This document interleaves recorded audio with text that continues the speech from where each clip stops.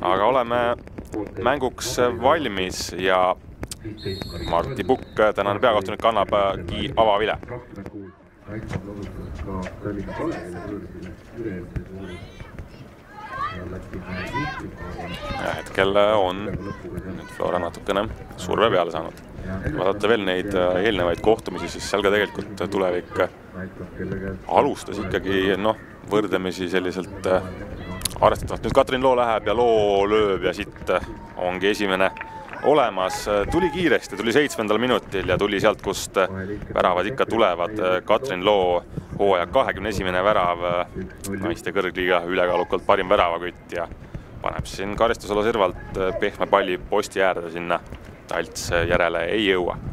üks-null Flora ja pinged mingis mõttes maas, kui, kui siin üldse saame rääkida, et oli mingeid pingeid. ja läheb Kelly Rosen nüüd nurgalööki andma Rosenilt pall kasti sealt uuesti pea peale ja seekord sai Keter Saar suunata, aga ikka pall kastis, ikka ka pall kastis ja siit tuleb teine ära ja Keit Jõmpuu näitab, et temal ka seda löögijalga on.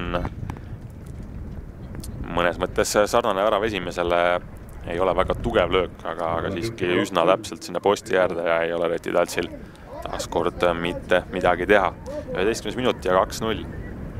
üks vastane üritas takistada, aga samalt uuedast jäi ka väheks, aga nüüd tuleb, tuleb tulevik vastu ja Põldur on liini taga ja Põldur lükkab veel kõrvale, kas siit sünnib vastuvärav ja siit tuleb ühendnaiskond lööb ühe tagasi ja see on juba suur asi, sest nagu öeldud, Florale tänavu löödud ainult kaks väravat, nüüd tuli kolmas ja Daisy Toomsalu paneb võrgus sahisema, Katariina Põldur lükkas isetult kõrvale ja ühendnaiskond näitab, et nemad oskavad ka rünnata, ei ole siin midagi häbenenud.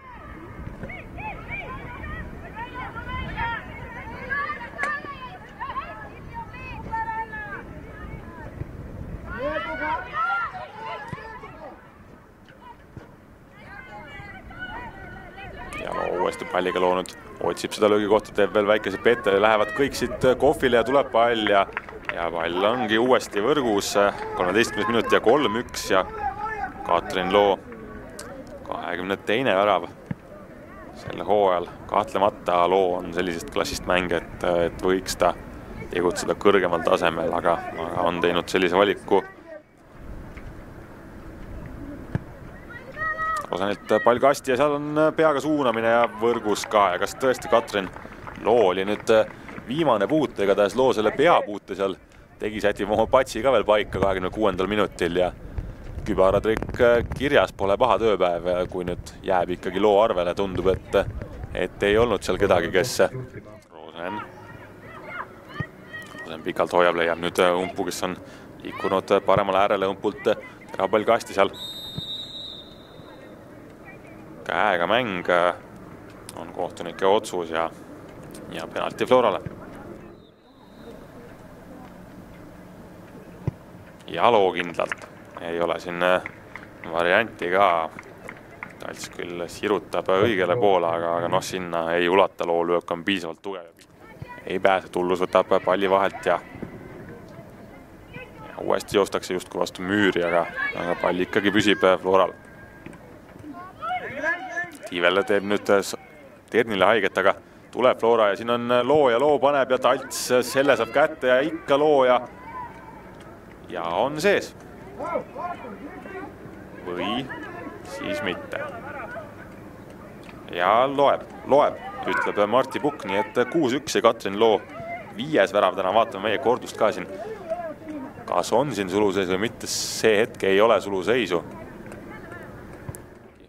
sellist ei tule ja Flora omakorda vastu, Saar. Saar võtab nüüd ühe kaitse ette, on tal seal natukene ikkagi ääre pealt ebamugav, peab vaatama keskele, leiab keskele Loo. Loo lööb ja sealt, kas oli Tullus tagapostis, kes ei saa jalga vahele ja nii ongi, üks-kuus jääb, ehk siis teisel poolel me väravaid ei näinud, ärge kaugele minge.